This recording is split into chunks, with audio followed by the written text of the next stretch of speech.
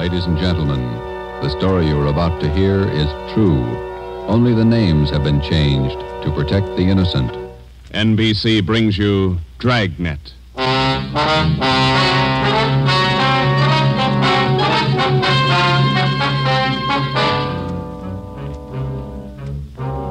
You're a detective sergeant. You're assigned to burglary detail. A gang of hijackers has started to work in your city. Truckloads of valuable merchandise have vanished. The thieves are clever, seem to have a foolproof system. Your job, find them. Dragnet, the documented drama of an actual crime, investigated and solved by the men who unrelentingly stand watch on the security of your home, your family, and your life. For the next 30 minutes, in cooperation with the Los Angeles Police Department, you will travel step by step on the side of the law through an actual case from official police files. From beginning to end, from crime to punishment, Dragnet is the story of your police force in action. It was Thursday, March 6th. It was windy in Los Angeles.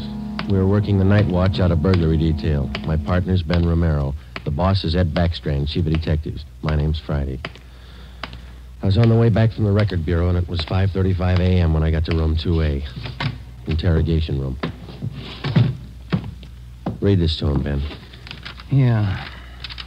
2,600 dozen nylon stockings, 45 bolts of silk, 58 cases imported perfume. Where are you dumping this stuff, Laval? That's what we want to know. I told you the truth. I have nothing to do with it. I don't know anything about it.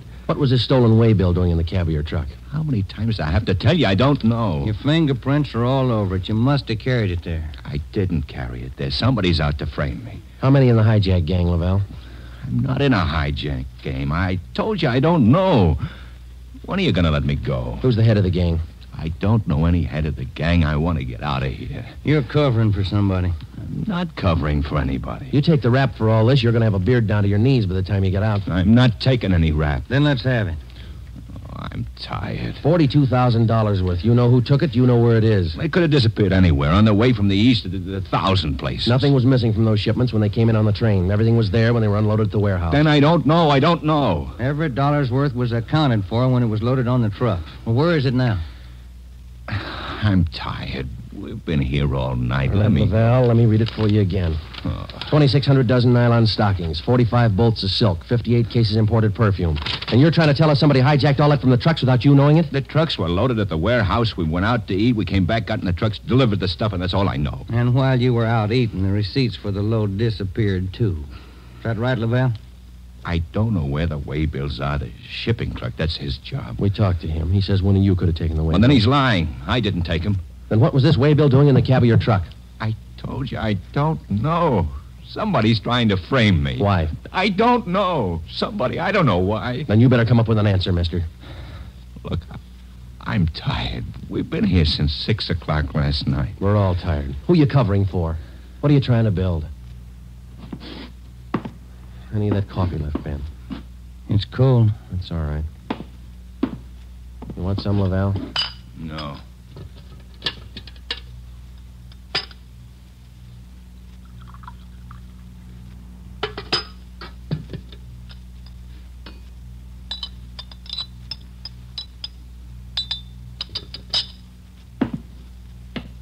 All right, now look, let's get one thing straight. We've been here all night. We can be here all day, tomorrow, the day after that, and the day after that. Yeah. We got enough to make you on this. You know that. And we're going to stay with you to tell us the truth. Everything. I've told you all I'm going to tell you. If we stay here for six months, you got it all. This your home phone, Hillside 8321. That's right, 8321. What time's your wife get up, Laval? What do you mean? Ben, get an outside line. Yeah. You're not going to call my home. It's Hillside 8321, Ben. Outside, please. Don't do that. Don't. Not my wife. Please. All right. Ask the questions again. This time I'll give you the answers. Thomas Laval was 38 years old. He was a well respected man in his community. Sometimes it's like that. You can question a man for hours and he'll never give you any information. But somewhere in every man's makeup, there's a weak point. We were lucky enough to find Laval's. He told us that he would give us the locations where the hijacked goods were hidden. He told us the addresses were written on the ledge of a windowsill on the seventh floor of the Teamsters Union Hall. It was 8.30 a.m. On the seventh floor, is that right? Yeah. Do me a favor. Don't make it too big. Well, look, we have to walk through the hiring hall before we get to the elevators in the back. Yeah? These handcuffs. They'll see them, all the guys in the hall. They know me. Can't you take them off my wrists till we get in the elevator? Sorry, Laval. Well, I won't try anything, but don't make me walk in front of them with these on. Sorry. Just till we get in the elevator. Can't you do that?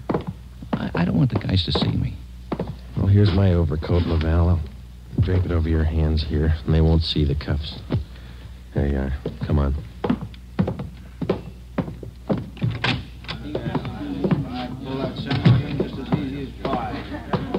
Tom. How are you? Hi. What's new, Tom? Not much. Oh, that was easy. Let's take the elevator. Yeah.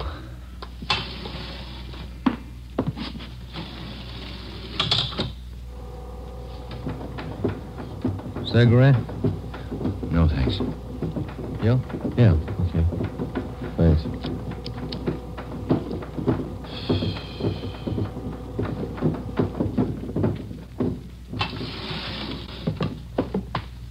Down this way. Uh, let me show you. To the left. A window up ahead there. Yeah, this one. I don't see anything on the windowsill. It's on the outside. Open the window and let me check. Yeah. Let me see here. Ben, grab him. He's trying to jump. Get back here. Get back. Let go. Do you hear? Let me go. Get him, Joe. Can't hold him. He's pulling me out. Hold on, Ben. Grab me. Joe! Joe! He's slipping. Try, Joe. Hold on. He's kicking loose. I can't hold him. Hold him, Joe. Ben! Hmm. I couldn't hold him. You almost went with him. Let's get downstairs. What happened? Call an ambulance. There's been an accident. Thomas Laval was 38 years old. He was a well respected man in his community. He died with the same reputation. We had a prisoner who'd met his death while in our custody. In cases like this, we had to have witnesses. By the time we got to the street, the usual accident crowd had gathered. Anybody here see the accident? What you want? Witnesses? Yeah. Did you see it? Yeah, we saw it. Let's get their names, Ben. My name's Pete Garfield. This is Jack Morris. We'll be your witnesses. You'll probably be subpoenaed for the inquest tomorrow morning. Sure, we'll be there. We saw you push the guy out the window. We saw you kill him. The next morning at 10 a.m. in the basement of the Hall of Justice, Harold J. Lane, Deputy Coroner, City and County of Los Angeles, read the report of the findings of the autopsy on the body of the deceased Thomas Laval. As is customary at a coroner's inquest, the identification witness was called to testify first. Elizabeth Laval, please. Raise your right hand. Do you solemnly swear that the testimony you're about to give to be the truth, the whole truth, and nothing but the truth, so help you God? Yes. Be seated. State your name. Elizabeth Laval, What is your address? 1216 East Camarillo Drive. What is your occupation? I'm a housewife, What is your relation to the deceased? his wife. Have you viewed the body of the deceased in this office? Yes. Who was the deceased? Husband. Thomas Laval. Is there anything further you wish to add? Thank you. Step down, please. Joseph Friday. Raise your right hand. Do you solemnly swear that the testimony you're about to give to be the truth, the whole truth, and nothing but the truth, so help you God? I do. Be seated. State your name. Joe Friday, What is your address? 4656 Collis Avenue. What is your occupation? I'm a police officer in and for the city of Los Angeles. Are you the investigating and arresting officer on this case? I am. Will you state briefly the facts relating to the death of the deceased? On the morning following the arrest by us of the deceased on suspicion of grand theft merchandise, He expressed a desire to assist us in the apprehension of suspects involved in these thefts and the recovery of property taken in them. Did he assist you? Well, he informed us that if we took him to the Teamsters Union Hall, that he'd be able to obtain addresses of the locations where the stolen property was cached. You then took him there. Yes, we did. What happened? When we arrived, he requested us to remove his handcuffs. We refused. The deceased then informed us that the addresses were written on a window ledge on the seventh floor. When we arrived at the window, under the pretense of searching for the addresses, he threw himself over the ledge. I grabbed his left leg to restrain him, but he kicked loose. Uh, did you at any time have any idea that the deceased planned such action? I did not. What did you do then? We immediately went to the location of the body and had an ambulance dispatched. Do you have anything further to state? No, I have not. Are there any questions from the jury? Mm-hmm. That's all, Officer Friday. Step down. Peter Garfield. Raise your right hand. Yeah. Do you solemnly swear that the testimony you're about to give to be the truth, the whole truth, and nothing but the truth, so help you God? Yeah? Be seated. State your name. Pete Garfield. What is your address? 1654 North Pico. What is your occupation? Truck driver. Down at General Warehouse. Did you know the deceased? Yeah? How did you know him? I worked with him. And that cop's a liar, and so's his buddy sitting over there. Please confine the testimony of this inquest to facts. Were you present at the time the deceased met his death? I told you I was. And those two cops pushed Tom out of the window. Where were you at the time the deceased was pushed or jumped from the window? Jack and I just left the Union Hall. We were going out the front door when it happened. What attracted your attention? I heard him scream. When I looked up, Tom was falling. That cop was standing at the window watching him. Did you see the officer push him? Yes, I saw him. Did I understand you to say you were on the street outside the building at the time? Yeah. And you saw the officers push the deceased from the window on the seventh floor from your vantage point? Yeah. Isn't it true that that's a physical impossibility? What is? That you could have seen what you testified to from where you were standing? I know they pushed him. You know or you saw? I know, that's all. Tom wouldn't jump out of a window. Then it's true you didn't see the officers push the deceased out of the window. No, I didn't see him. Is there anything further you'd like to add? They must have pushed him. Any question from the jury? That's all, Garfield. Step down. Dorothy River. Raise your right hand. Yes, Do you solemnly swear that the testimony you're about to give to be the truth, the whole truth, and nothing but the truth, so help you God? I do. Be seated. State your name. Dorothy River, What is your address? 211 South Beverly Drive. And what is your occupation? I'm a stenographer at the Teamsters Union Hall.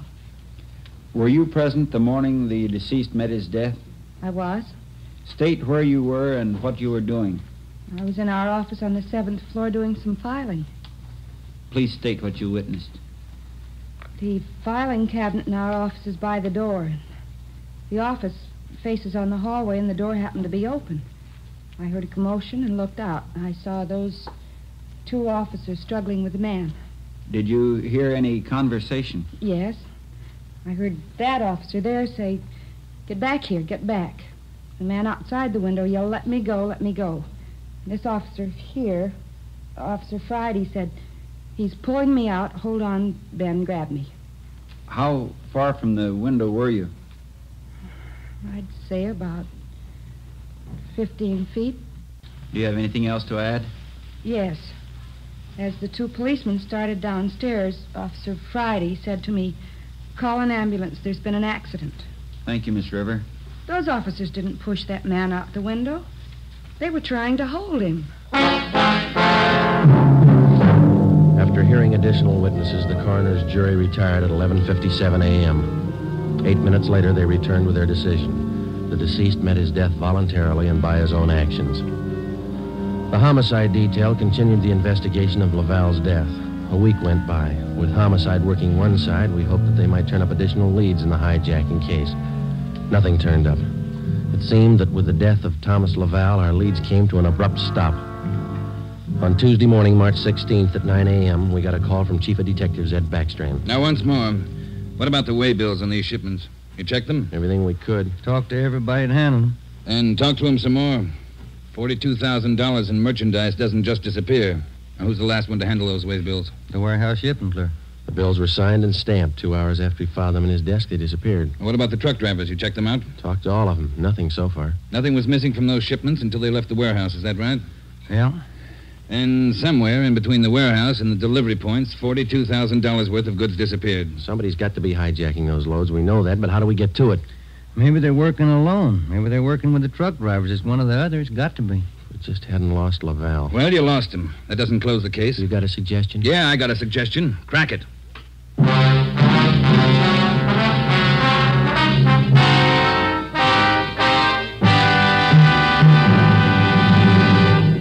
You are listening to Dragnet, authentic stories from official police files.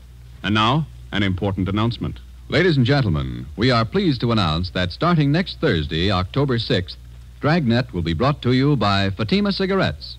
We'd like to take this opportunity to thank you, the listener, for your excellent response to our efforts in bringing you these weekly authentic presentations of actual cases from official files. Your letters are the only indications we have that Dragnet is a source of your listening pleasure. We'd like to hear from all of you. Starting next Thursday, October 6th, over most of these same NBC stations, Dragnet will be heard weekly at 10:30 p.m. Eastern Standard Time, immediately following the supper club. Check your newspaper for local release time.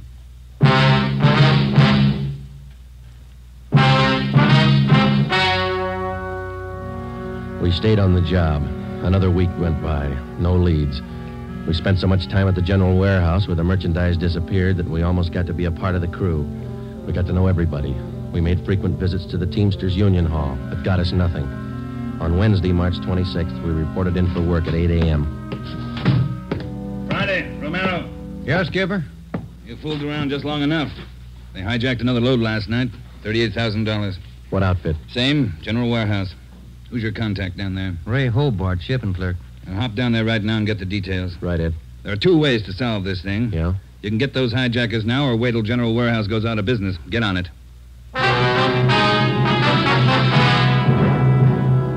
Hobart, who was the shipping clerk on duty last night? I was, uh, working for Siggy, Siegelmeister. He's out with a cold. And you saw the stuff was loaded on the trucks and you checked the waybill. Yeah, as usual. Everything as usual. Uh, checked the trucks out at 2 a.m., went back to the office, filed the way bills. You work a pretty heavy schedule, Hobart. You started at 2 a.m. and you're still on duty? Oh, it took the last four hours of Siggy's shift, at 2 a.m. to 6 a.m. He had a cold. I was back here at 10 this morning to start my own shift. When did you find out the way bills were missing on that shipment last night? Uh, just before I went off. Maybe uh, half past five, quarter to six. Well, how about the truck drivers who handled that load, Hobart? You got them? Uh, let's see. I got it right here. Okay. Uh, here you go, Sergeant. Uh, Jack Morris and Pete Garfield.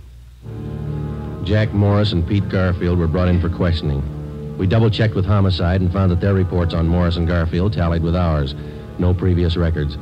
Both men had been tailed for a reasonable length of time since their testimony at the Laval inquest. Their actions failed to implicate them. Four days after the second hijacking, we got a tip from one of our informants down in the warehouse district. He told us that a man in a gray suit had been hanging around the coffee shop next to the Teamsters Union Hall. He was peddling nylon stockings, cheap.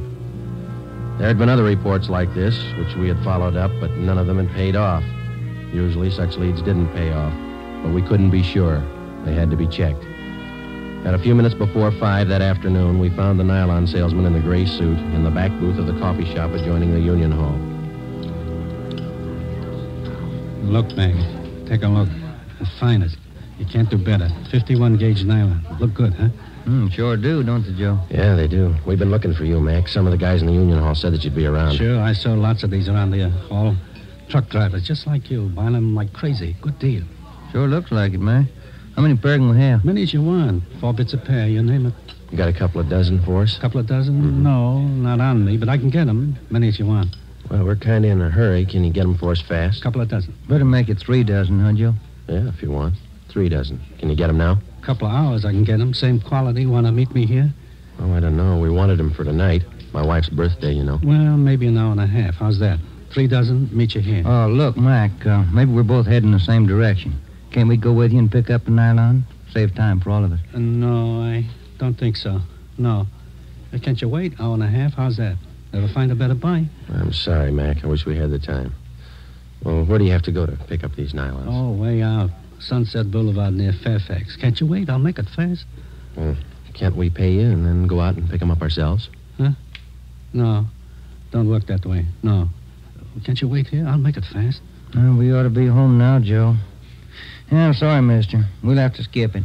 Yeah, maybe we can pick up something on the way home, Ben. Candy or something. Wife likes candy. Now, uh, look, fellas, I, I don't want to see you lose out on this deal. I'll meet you halfway. How do you mean? Uh, look, together we'll go out to Sunset and Fairfax, huh? Near the place. You wait there at the hamburger stand, and in five minutes I'll bring you the stuff, okay? Oh, I don't know.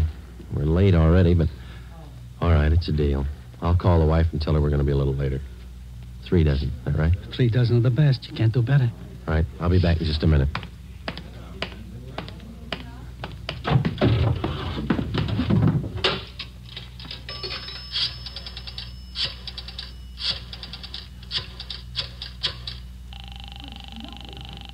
Two five three. 2523. Chief of Detectives Office, Chandler. Mike, Joe Friday, Backstrand there? Out right now, Joe.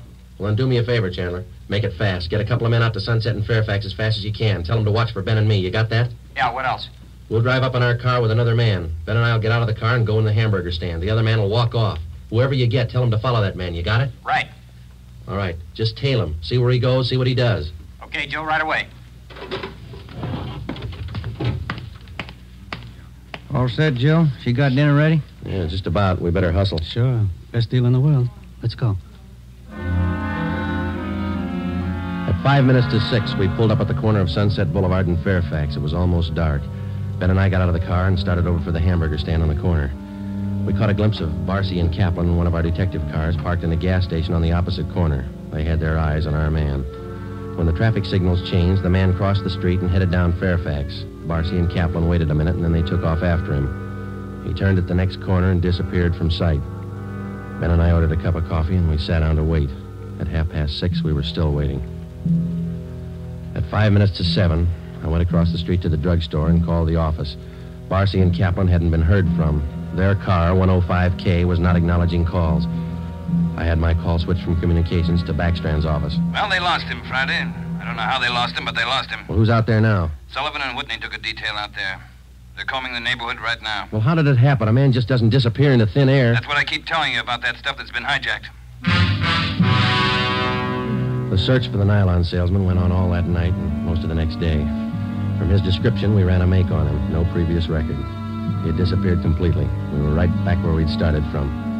The only thing we could do was to start backtracking, re-questioning the people at General Warehouse, the truck drivers, the shipping clerks. We kept a close check on Garfield and Morris, and, and we went back to the only possible lead still remaining, Mrs. Laval. She could tell us nothing more than we already knew. When we left her, we started on the neighbors for the second time around. For the rest of the day, we canvassed the immediate neighborhood. We got as many opinions of the Lavals as they had neighbors. At 3.30 that afternoon, we visited with Miss Gertrude Langster, a 50-year-old maiden lady who lived almost directly across the street from the Laval house. She'd been out of town the first time we covered the neighborhood. The old saying goes, Sergeant, there's no fool like an old fool. Oh, say, if I told you the chances I had when I was a girl. Yeah, but we Oh, just not don't- truck drivers like that. Laval man, God rest his soul. But fine, wealthy men, Well, bankers, you- lawyers. Templeton Grant, you remember him? No, ma'am. Mm. I was engaged to him once. Butterfly waist. That's what he used to call me. Well, Well, I was slim in those days. Would you like to see some pictures of me as a girl? No, no, thank you, ma'am. We'd just like to ask you a few questions, that's all. Could you tell us if the Lavals had many visitors to their house in the past six months or so? Oh, my no. Funniest thing, I am the nosy type, Sergeant. I like to know everything that goes on around my neighborhood, and you can take my word for it, the Lavals never had visitors. You know, Sergeant Friday, you remind me of a young man I used to be engaged to just a few years ago. Yes, Miss so- Langston. Now, would you tell us, please? Uh, did you have any reason to think that there was something a little out of the ordinary about the Laval? Oh, little out of the ordinary, he says, but my dear man, yes. Here he was, a truck driver, and there she was with a home furnished like the Astors. Why, I even used to see him cart some of the things home in that car. His beautiful things, rugs and glassware, bolts of fabric. Oh, gorgeous. And he'd bring these things home after work. Is that it, Miss Oh, Langston? anytime, anytime, day or night, weekends, anytime. Mm-hmm. After four, Joe. We better call office. Yeah. Now, are you sure of all that you've told us, Miss Langster? Sure. Oh, my dear man, of course I'm sure I watched him week after week. Well, thank well, you. Uh, won't you stay for a cup of tea? I'll have Josephine fix it. Josephine? no, thank you, ma'am. Well, then, uh, perhaps a glass of sherry? Thank you, no. But there is something. Yes? I wonder if we could use your phone, please. Oh, uh, yes. In the hall, next to the umbrella stand. Thank you, ma'am.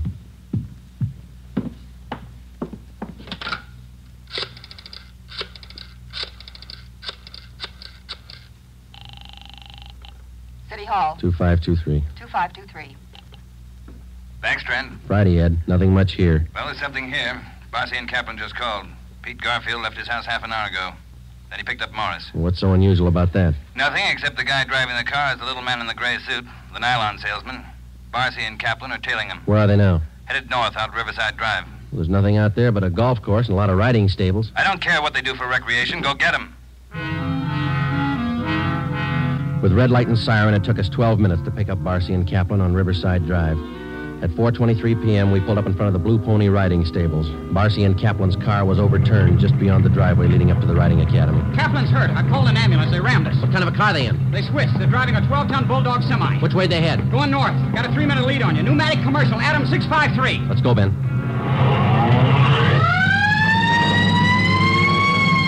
Can you see him, Joe? No, not yet. Watch that crossing.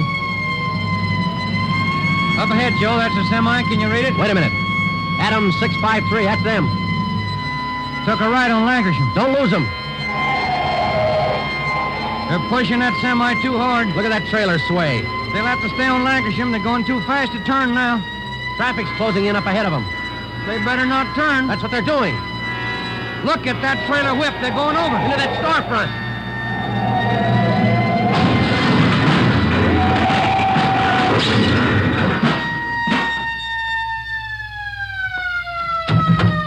Come on, Ben. You all right? Wait a minute. Let me see. Yeah, they're banged up, but they're alive. Well, there they are, Joe. Yeah. Garfield, Morris, little man, and gray. It's funny, isn't it? What's that? Garfield's going to swear we pushed that truck through that window.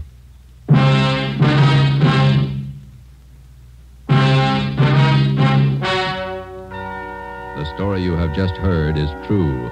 Only the names were changed to protect the innocent.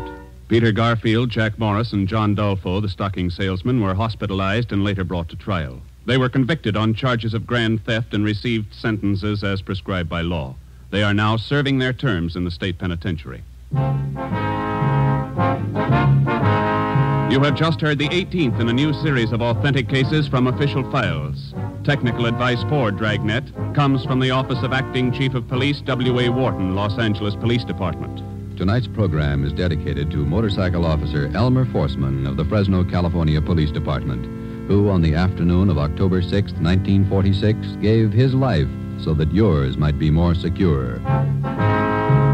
Remember, starting next Thursday night, October 6th, Fatima Cigarettes invite you to listen to Dragnet immediately following the Supper Club. That's 10:30 p.m. Eastern Standard Time over most of these same NBC stations. Check your newspaper for local release time. Dragnet came to you from Los Angeles. Judy Canova joins the star lineup of Saturday shows tonight on NBC.